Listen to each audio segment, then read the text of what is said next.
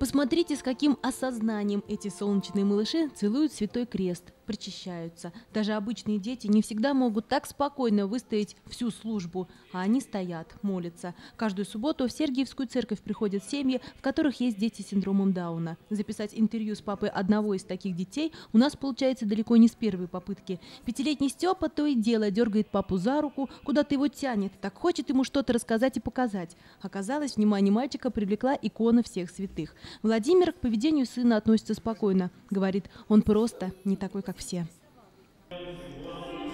Я надеюсь. Надеетесь, что он действительно особый? Надеюсь, что он ближе к Богу. Это любимый ребенок, конечно, больше внимания, больше всего потрачено, так сказать. Отдачи много от него? Ну, конечно, это, как сказать, это солнышко.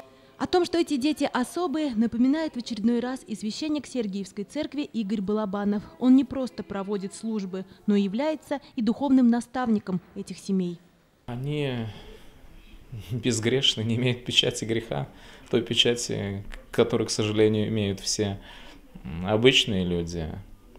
Как правило, это дети, ну, как у нас шутит, э, каждому человеку предстоит путь, э, путь борьбы с грехом, путь падений, и мы не знаем, как он закончится. То есть мы не можем дать гарантию, спасется человек или нет. То об этих детях, наверное, о большинстве, по крайней мере, можно сказать, что они, они там уже, можно сказать, в раю, будучи здесь, живя на земле.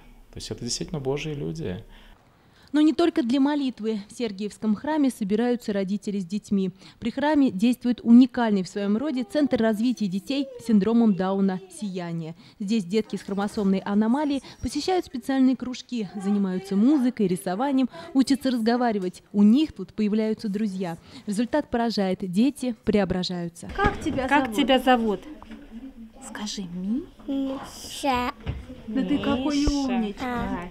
Ну и, конечно, в «Сиянии» помогают родителям таких детей. Прежде всего, это психологическая поддержка. Ольга Слесарева рассказывает, как благодаря центру она смогла пережить шок, когда в роддоме узнала, что ее новорожденный сын имеет лишнюю хромосому. Они мне дали телефон одной из наших мам «Сияние». Свет Скоропостижный пришла с Андрюшей в роддом. Я посмотрела, да, действительно ходит, да, действительно он там на фотографиях себя узнает. И то есть э, все представления о том, э, что ребенок с синдромом Дауна это, ну как бы сказать, неадекватный, то есть как овощ, это все неправда. Мы всегда приглашаем к себе новые семьи, кто сомневается, кто попадает в такую ситуацию.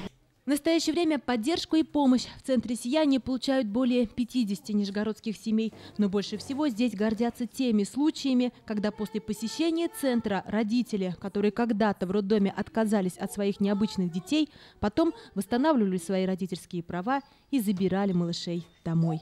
Наталья Лисова, Максим Веселов. Объективно. ННТВ.